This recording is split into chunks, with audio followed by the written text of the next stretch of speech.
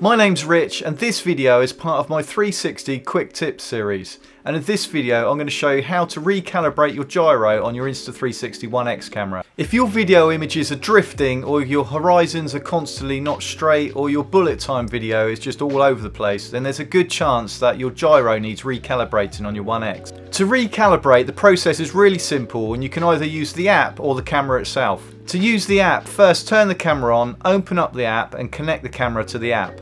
Select settings and then select gyro calibration. The app will prompt you to set the camera up on a smooth horizontal surface. Once you've done that, select next and your gyro will be recalibrated. It's important that you don't leave the app or touch the camera. And that's it.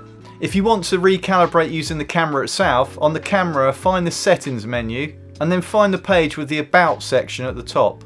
Go down to gyro collab Make sure your camera is on a flat horizontal surface, press select and your camera will recalibrate.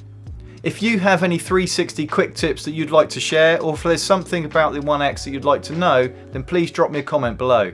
Please remember to subscribe so you can check out my 360 quick tips playlist which will be updated weekly and I'll see you on the next video.